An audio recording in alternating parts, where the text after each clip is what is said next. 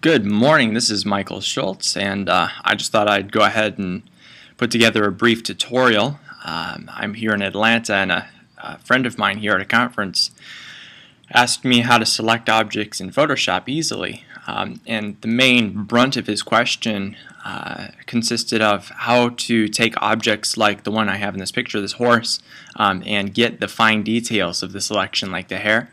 Um, if anybody's experienced in the uh, selection process in Photoshop, a lot of times you'll use either the pen tool or the magic selection tool to try to get the best selection you can. But when hair comes along, um, like the hair that's on this horse, um, it can be nearly impossible to select, uh, isolate every strand.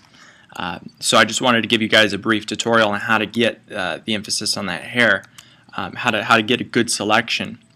Um, now, obviously, the, the general selection, like the, the curves and such on the horse, are easy enough, so we're not going to really be focusing on that as much as the hair. Um, in fact, this process um, does cut out some of this other stuff, but it really makes the hair pop. Um, so I'll, I'll, show you how all of that works here. Um, now you can see I've got a really high def image here. And this works for low def images as well. Uh, Photoshop has become more and more sophisticated over time, and it's just amazing what it's able to do these days. Um, so what I went ahead and did was I loaded this picture of a horse, and this is the, the picture uh, that my buddy had actually uh, had me work on with him. So I just wanted to show you guys how I did it. Um, so what I did was I loaded this up, and you can see I've already got a selection going on, but really all I did was, if I deselect here, uh, is I used the lasso tool and I just dragged around very general selection, nothing real sophisticated. All I had to do was really just uh, select that. Um, so, uh, and you don't have to be too detailed. You, will notice that my selection isn't isn't very close to the horse's face or hair or anything like that. Just as long as you kind of isolate the horse from the rest of the background uh, enough to uh, make it uh, make Photoshop know what you're trying to select. Okay. Now, when you're done selecting, uh, there's this really cool new tool that Photoshop gives us, and they've they've sophisticated it uh, since Photoshop uh, CS5 came out. Um, and I think Photoshop CS 5.5 is actually uh, has actually got a better version of this. Uh, but I'm going to show you what CS5 can do for you. All right. Um, now, when you've got this lasso tool selected and you've already made your selection, all you have to do is go up to this Refine Edge button. Um, now you'll see that I've actually uh, I actually went ahead and duplicated my layer just in case uh, I screw anything up or I need to grab any more details out of the original image. It's always good to have a backup. All right. Uh, so I'm selecting my top layer, uh, my duplicated layer. I'm hitting re Refine Edge, and you'll notice right off the bat that it already cuts this out. This is just a preview. It hasn't already cut it out for me. It's just a preview of what it will look like when I refine the selections edge. All right. Uh, and what's really cool is with the click of one button, you can make this image do some amazing things right off the bat. And you'll notice edge detection. Edge detection is a cool new feature that Photoshop has. Um, and all you have to do to make this start working for you right away is press the radius slider and bring it up.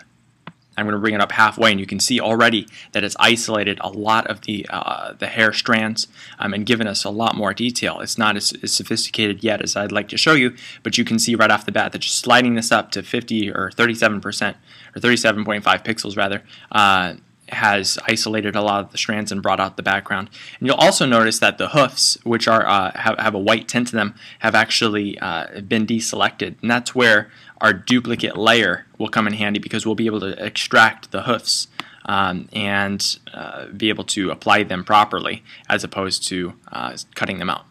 Um, but it's really the, the strands of the hair that you'll be interested in here. So let me see if I can zoom in here and show you exactly what's going on. I'm going to keep bringing this radius up.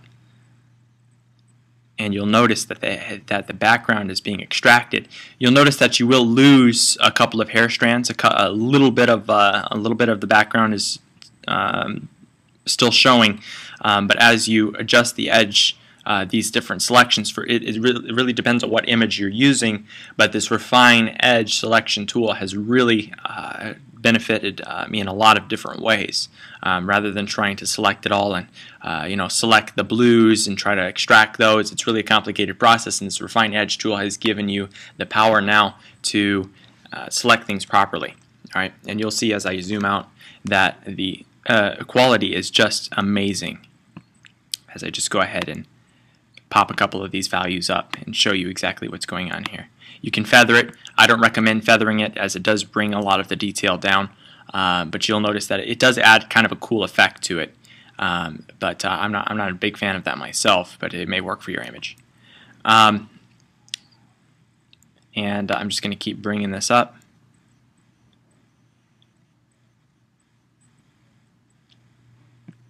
All right, I've got a selection that I think is going to work for me. Um, let me actually bring that down just a tad.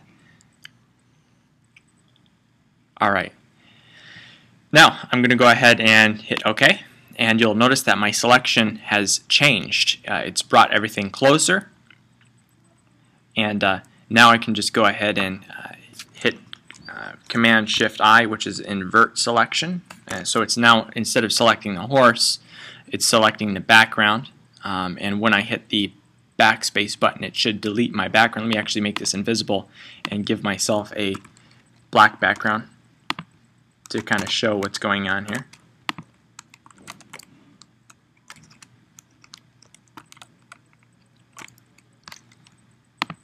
Okay, I'm going to go ahead and delete this and put my black in there.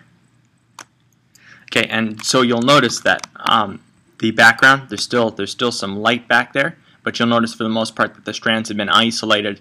And once again, you're going to have to play with the settings to get it exactly right. Um, but as you throw this into other backgrounds, like um, you know a lighter color such as green, you'll notice that you can't really tell um, and this this will be the case most of the time.